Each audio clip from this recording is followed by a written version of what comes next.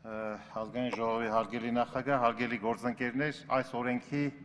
դրամաբանությունը հիմնականում ես հասկանում եմ, որ բազմազավակ ընտանիքների, մայրերի, ընտանիքների պատվելու մեջ է, այսինքն պետք պետք է կարողանանք նախ եւ առաջ բարոյական հարցեր լուծում,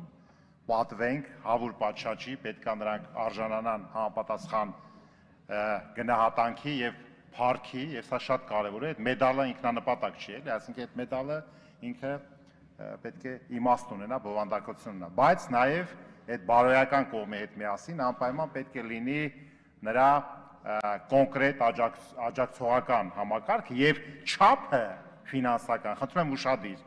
չպետք է նսեմացնի այդ բարոյական փառքի աստիճանը, մակարդակը, այսինքն եթե մենք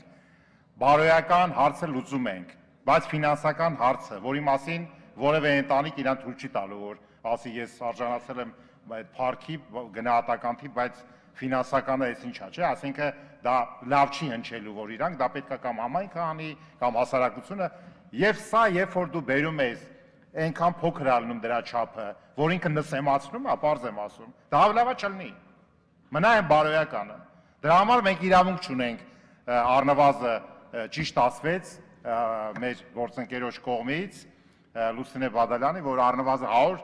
եթե տեղ կա, նույնիսկ մի քիչ ավել, եւ իհարկե ես տեղ կարելի է մտածել, այդ ասենք եթե 10 երեխայական 6 երեխայա դա նույնը լինի, այդ ֆինանսական մասը թե չէ, սա մտածելու բան է, այս պահին մի քիչ բարդ է դրան ճիշտ գնահատական տալը, բայց բազային մակարդակը պետք է համապատասխանի բարոյական արժեքին։ Սա է միտքը։ Այսինքն միտք պետք է ունենա, որը ընկալելի լինի բոլորի կողմից։ Իմ առաջարկը այն է, որ ճիշտ է իսկապես 100 հազարից պակաս չլինի, այս